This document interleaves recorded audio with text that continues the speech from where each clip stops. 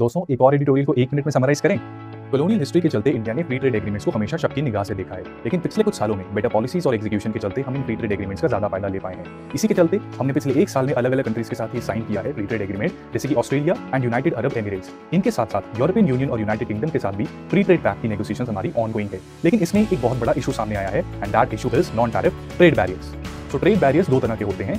Tariff barriers जैसे कि import duty and countervailing duty and non tariff barriers जिसमें अलग अलग एग्जाम्पल्स आ जाती हैं, जैसे कि phytosanitary measures carbon emission norms climate action and labour laws for example European Union ने हाल ही में कार्बन बॉर्डर एडजस्टमेंट मैकेनिज्म को इंट्रोड्यूस किया है, जिसके चलते वो उन सभी इंपोर्ट्स के ऊपर एक्स्ट्रा टैक्स लगाएगा, जिनकी प्रोसेसिंग और मैन्युफैक्चरिंग में ज़्यादा कार्बन प्रोड्यूस होता है। हालाँकि यूरोप का कहना है कि ऐसा करके वो अपने क्लाइमेट के ऑब्जेक्टिव्स को अचीव करना चाहता है, लेकिन इंडिया को इसका नुकसान है, क्योंकि हमारे प्रोडक्ट्स जैसे कि स्टील और फर्टिलाइज़र ज़्यादा कार्बन प्रोड्यूस करते हैं। जिसकी वजह से हम इन फ्री ट्रेड एग्रीमेंट का पूरी तरह से फ़ायदा नहीं ले पा रहे। और इससे इंडिया को सीख लेने की ज़रूरत है कि we need to improve our manufacturing processes